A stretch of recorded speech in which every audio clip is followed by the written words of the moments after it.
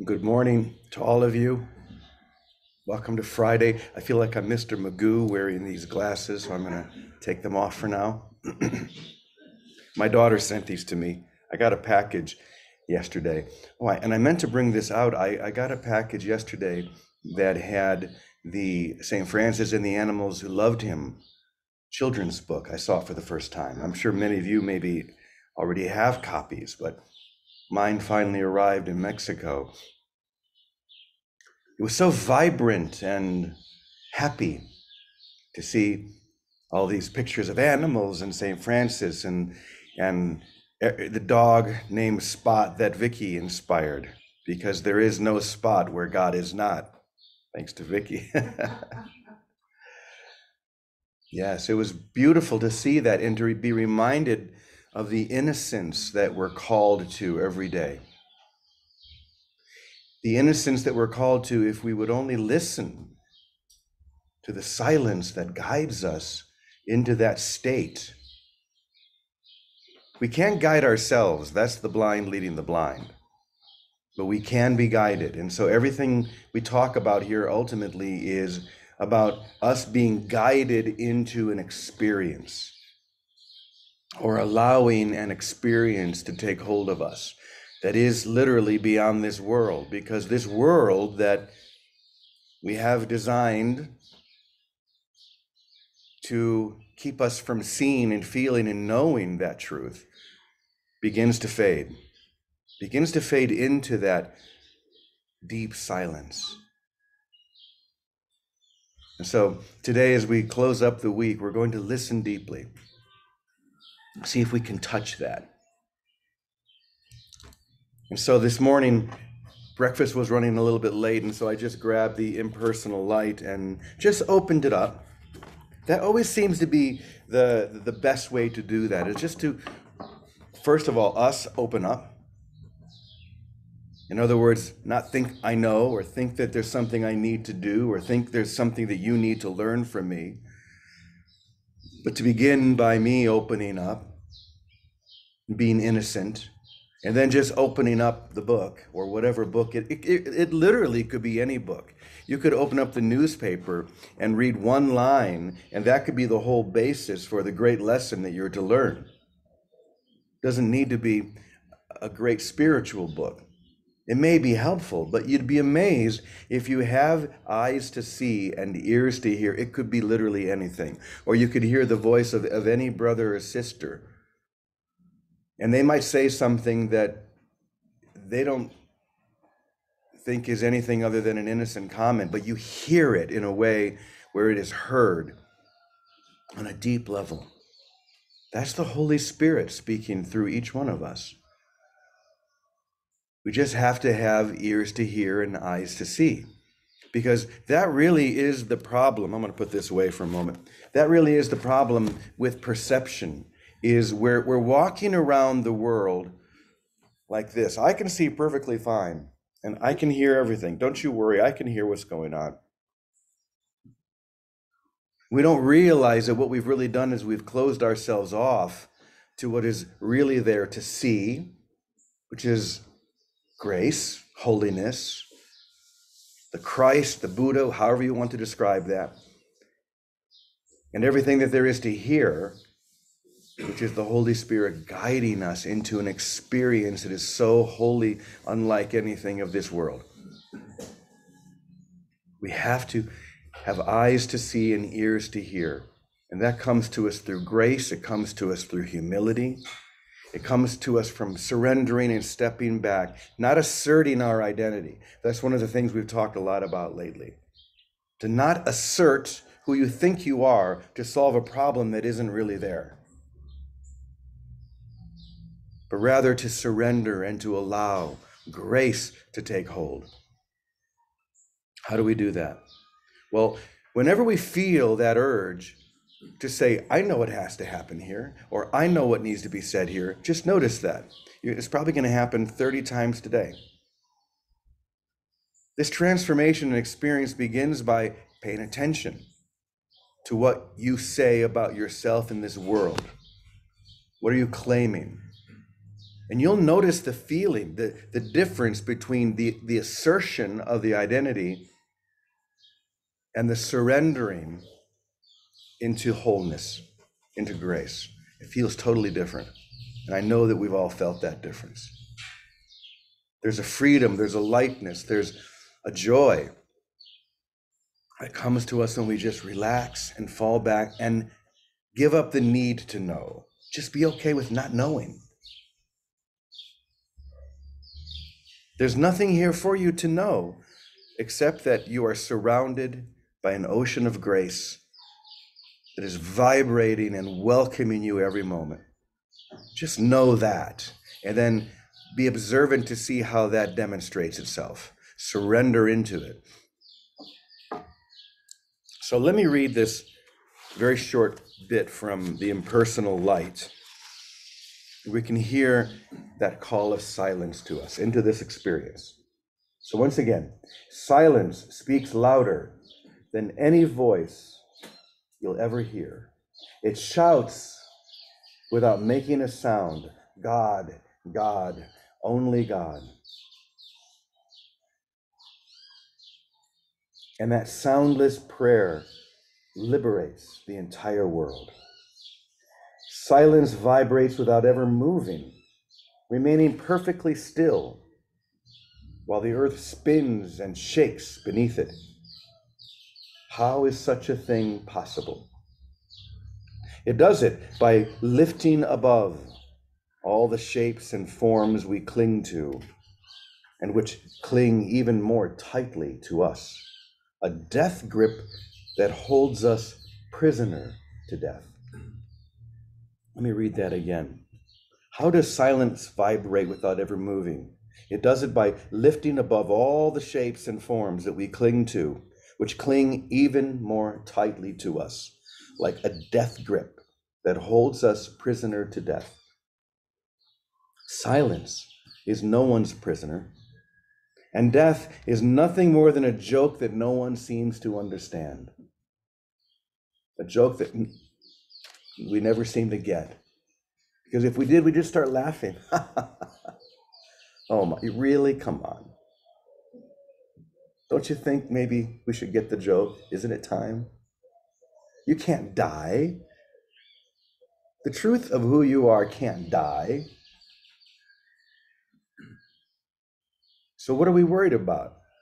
Why can't we just relax and just keep surrendering? It's the assertion of the identity. Remember that. It's always the assertion of the identity that is in fear. It is the relaxing into grace that we do in the experience when we feel that experience, when we sense the approach. Okay, a bit more. If I ask you to share these things, you would do well to close your mouth. Oh, I found a typo, Brock. It says close you mouth. to close your mouth and open your eyes so you can see the one who asks for such knowledge. See them as I am seeing them. There are no words you can speak that will come close to what I see, to what I am seeing. I am the center point of your infinite awareness. The I am presence within you is the center point of your infinite awareness, not your mind, not your ego, not your earthly uh, perceptions, but that I am at the center. And I choose to sit quietly within your wordless gaze. I like that.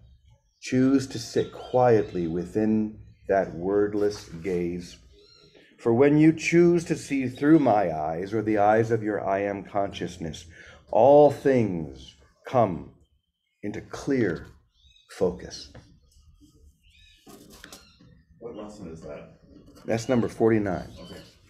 Too late to change it now. It. It's No, okay. No, we can. It's okay. We can fix it Oh, okay. for later. Baraka says we can fix it. That's what I like to hear. When Baraka says he can fix it.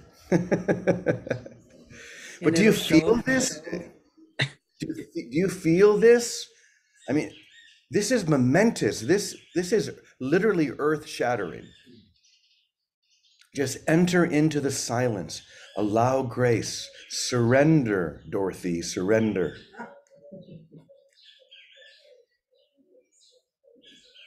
Stop trying to know and simply be known. Mm. Stop trying to know and simply allow yourself to be known. You're already known by grace or God or whatever word you want to use. You just have to know that you're known. Allow that knowledge to take you. And what this is saying is that you do it through silence, through holding still and listening to that still, quiet voice that is always there to speak to you and guide you into this experience. Every single day, this comes up. Be guided into the experience. The words mean nothing. You do and are better off realizing you know nothing Remember who our guru is Sergeant Schultz. I know nothing. That's the truth. But I can be known within everything. Mm, feel that. Allow yourself to be known as you are known. All right. Vicki, I have a baton in my hand and I am ready to turn it over. So take it away. Here we go, Jimmy. Here we go. Well, and I, I want to say I love the meditation. Whoever put that on before you started our meeting, because the, it carried the same idea of being fixated on spirit, on God, on light. And it made me um, you know, I like that gazing. I like that uh, stepping back, very much like Brother Lawrence, practicing the presence, keeping our mind stayed on what, whatever we want to call it, the light or love on God. And what I find in, in kind of living this, and Brother Lawrence has been a guide for me for many, many years. I think even who Brother do you want to explain who Brother Lawrence is? Oh, sure. I think Brother Lawrence was a monk. I don't know what years, Jimmy. You might know that better. I think this 14th century. Yeah. 14th and, or 15th. Right. And really, all he did by example was practice the presence of God by keeping God, that awareness of God in his mind, in his heart. And he was probably a dishwasher or something in That's the right in the friary. He didn't have, he wasn't abbot or anything. He didn't talk, talk to people, but he practiced the presence. And um, that comes through every tradition, you know, East and West. In the Course, they talk about it be vigilant for God and his kingdom. In Christianity, it's the Jesus prayer, centering prayer. In every religion, in the um, Buddhist and all of it, the chanting, all of that is to get us silent, to get us quiet those are all mechanical moments to stop us, to help us drop into. And this is, I love the word you use, gazing. And whether we gaze at a baby, that's my most recent gazing experience, gazing into the eyes of an infant, or gazing at the eyes of a pet, or gazing at a flower. There's a gaze where we are in communion, where we join. And that, if we have spirit, light, love, whatever you call it, for me, it's simple love or God. I want to see it everywhere. I don't know what it's like to see lights and things and all kinds of um, fantastical things, but I know that that gaze brings me peace and it's lighthearted and it's happy. And it opens up that spaciousness of communion, of oneness, of wholeness with everything. And, but it is up to each of us to focus. It's more a focus, I guess, a focus on love or on light. And with eyes open or shut doesn't matter.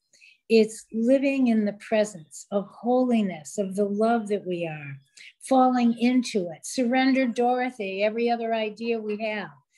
And it it, it quietly eliminates thinking for anything, for projects, for stuff to do, places to go. It eliminates them because gazing brings the fruit of peace and happiness and ease and grace with it. And then where else would I rather be? I, I would rather always be in that ease, in that grace, in that happiness. And then the steps unfold. And that's why death is not an issue, because whether I'm physically here, present in a body or out of a body, it doesn't matter. That gaze is eternal. And when we rest in it, we know that. Nobody has to tell you there's no death. You fall into that spirit, that presence, and you know it didn't begin with a body nor end with a body. It's what everlasting life is. So there's no concern. And even here in time, like I don't care if I'm in a body or out of a body. I don't care. I just want to live in that presence and then fulfill whatever is mine to fulfill. Give the help, the love, the light, share that wherever it's possible, wherever I'm given to share it. And then there's no need to worry about physically dying, physically living. Let symptoms come, let them go. Who cares? Just stay in the presence. That's the remedy for everything. How simple is that? And how how happy is that? That's all I have to say about that. Stay fixated on God. Here, Teddy, here's the baton to you. Just stay in the presence. Teddy, Yeah. let's let's hear what you have to share about that. You know, I, I'm not really sure if I have anything. Uh, I was just thinking while you were talking, you know, the idea that we can, um, by by not knowing and not determining and not thinking we know, open our minds so that the knowingness comes. Eventually, the knowingness becomes part of us and that's when we see things differently. Um, I was just reading a something that po- G- that a friend posted about Jesus, and you know one of the things he says, he, he talks about seeing Peter and Peter denying him three times, but his relationship to Peter denying him three times was entirely different because of the nature of the change of mind in such a total sense that he had. So what he said was, you know, I, I couldn't hold him. I couldn't find him guilty because my brother's innocent. Um, so you look at what's going on in a different way. It's not that different things will go on. It's the same things will go on, but you will see them differently. And um, when it really, I don't know how to say this, when it goes beyond the practice to knowing it's the solution, the practice is gone, and living from the solution is um, what we begin to do. Living from certainty of not knowing and receiving as we were created to, so as to give what we've been receiving as we were created to do as well as our Father gives. Thank you. You know, I, I'm sitting here thinking about something we spoke about earlier this week. Uh, that documentary that we watched here at Namaste, uh, Jim and Andy, the, domin- the movie about the making of Man on the Moon, where Jim Carrey played Andy Kaufman, and how Jim Jim Carrey stayed in that character to such degree that he would often turn to people like uh, leaving the identity of Andy just for a second and looking next to him and saying, I'm starting to think I'm pushing this too far. Do you think I'm pushing this too far? As he agitates everyone and pushes everyone to the brink. Uh, Milo, what's his name? The director, very famous. Milos Forman. Mila Schwarman. Uh, you know, he's you know very famous director. He he's never had to deal with, and he made one flew over a cuckoo's nest. Had to deal with with Jack and all those other guys in an insane asylum. Uh, literally, they shot that in an insane asylum in Oregon, and and so he and those guys, the actors who were in Cuckoo, um, before Jack got there, they they spent a week or two i don't know how long living with the people in the insane asylum so they could really absorb what this was. And and then jack comes and and he's hanging around the actors thinking what the hell is going on? Because he wasn't part of that so this is what the director was used to. But he could, didn't know how to deal with with jim playing the role of andy because he just he just took it too far constantly. What that's what andy would do isn't it? That was his whole gig to take it too far. The question is have we taken it too far or have we not taken it far enough? I guess it depends upon what angle we're looking at it right we certainly have taken the the the trying to prove something that is not provable too far and it hasn't worked but maybe we need to take this teaching a little further. Relax in the one trying to prove the unprovable, but be as resolute and uncompromising. We talk about this a lot. Be uncompromising with this. Don't try to justify anything in this teaching. If it says, for example, there is no death, don't get with someone and say, well, what do you think he means when he says there is no death? Pretty sure it means there is no death. Why, why do we compromise or, or try to interpret that? Take it too far, like Jim did. Just take it as far as you can. And don't worry about how, how other people are accepting. Yeah, don't worry about what how people are going to accept it, as Brock has said. Just go for it. Go for it. I don't know. I, I guess I'm in a go for it sort of mood today. Who wants to join me in going for it? Don't worry about how people are going to accept it because they're here because they reject the idea anyway. You already know that.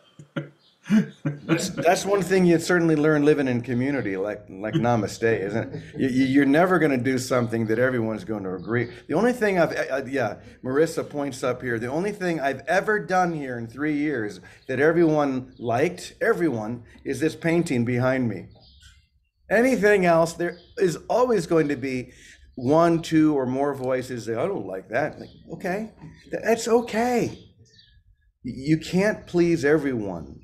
So just please the one. That makes sense?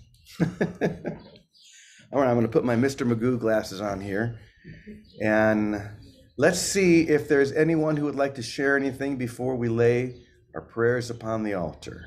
Anyone here at Namaste, please let me know, or anyone in the Zoom room. Good morning, everyone. Anyone want to share anything?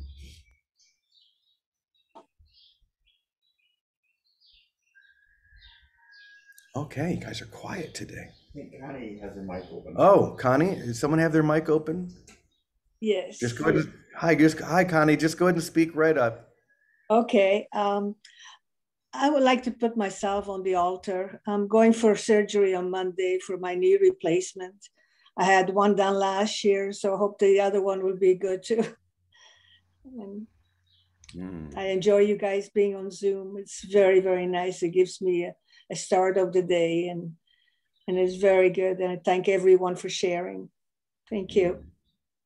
So we lay Connie on to this holy altar, knowing that she has healed this moment and every moment. And for this we pray. Our prayers have been answered. Anyone else have a mm. comment or to lay something? Yes, go right ahead. Is that uh, me? Carolyn? Uh, yeah. Uh, Carolyn, yes, go right ahead, dear. Um, I was very happy to be coming today. I have a dear friend, Joan, who two weeks ago had surgery on her knee and it just has not healed. And they, she went in yesterday for emergency check because it's swelling badly. And lo and behold, the bone above the knee joint is disintegrating. So she's in emergency right now and will have some surgery and I, I just, w- I would like to lay Joan on the altar for Okay. care. Yes, so we lay Joan upon this altar. We see her as perfectly healed and whole. And for this we pray. Our prayers have been answered. Thank you. Alice, did you want to share something? I did actually. Um, I wanted to the last few days comment on something. You every day you bring up, and it's wonderful. You bring up, let's be in heaven now. Let's in this moment really go for it now. That word now is a big one. And I've been playing with the horizontal and the vertical plane. It's a very interesting exercise. And we mostly live on the horizontal plane where there's past and future and and fears and death and life and all the rest of it. That's what we know on this illusionary plane. And the other day i was in meditation and i was just being in the horizontal plane. And i thought okay i'm going to flip in one thought into the vertical plane. Everything changed. Mm. everything. And it was an exercise in the eternal, God's eternal now. It had no ego in it, it had no um, future, no past, no fears, no nothing. It was just, but it was everything at the same time. And I did just want to mention the power or the exercise in going from the horizontal to the vertical in our meditations and in the way we think. So, say when we give a, um, uh, a want to heal, okay, I don't think we can heal in the horizontal plane at all. I think we have to go straight to the vertical. And in the vertical, that is the place of miracles outside of time and space. And so uh, when we send healing to somebody or when we, I mean, I forget to do this a lot of the time, but when I remember, I remember who I am in that. Does, does that make sense? Absolutely. Yeah. It feels So like you're just channeling I Joel just wanted to comment on this today. Well, you know, actually, Alice, that's in Helen's notes. There's a, he's got a, a long section on that.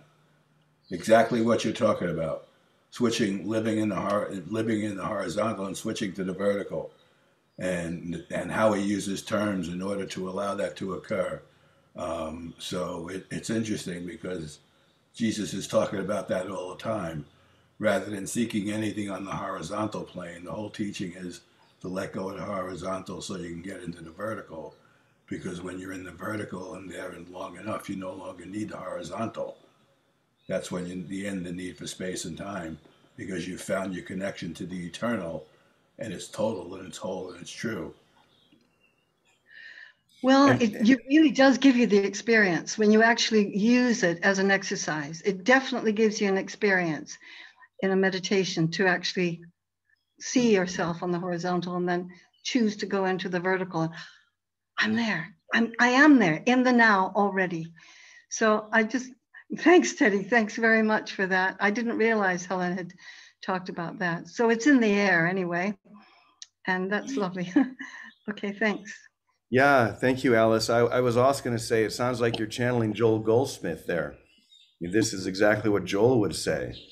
And I, as you were talking, I was thinking that the, the, the teaching is that the, the vertical dive or ascent is the same, really, we don't know which way is up, which way is down. So the dive is the ascent, the ascent is the dive, is everywhere in every moment. So here, here we are in the horizontal, where you know, moment by moment, everything's moving, changing, but the vertical is in every one of those moments. So every moment we have that opportunity to make the choice that you've described.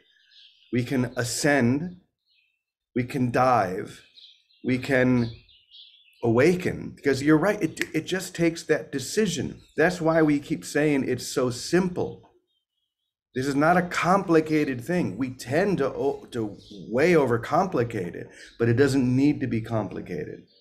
Just in every moment seek only that experience. You can call it what you want. Yogananda would say god god god just like the the lesson did today Or as Vicky was saying today, the practicing the presence of God, like Brother Lawrence. Everything that we've talked about here today is all about going into that vertical alignment.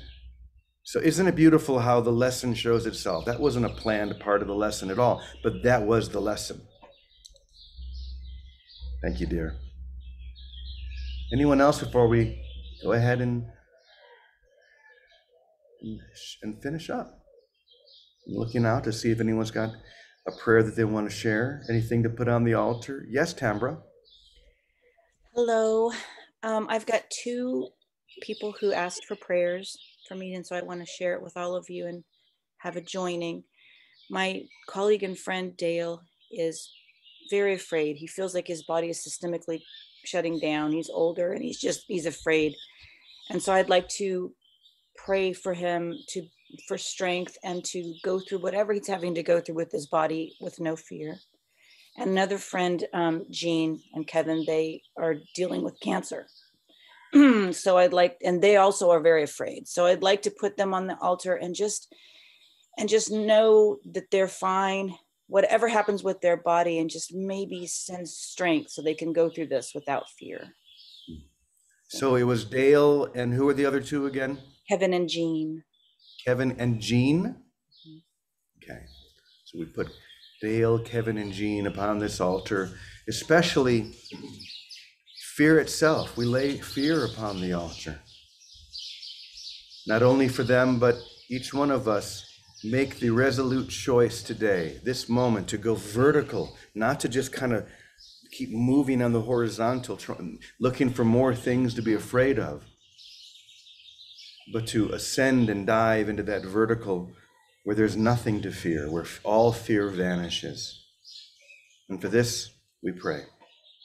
Our prayers have been answered.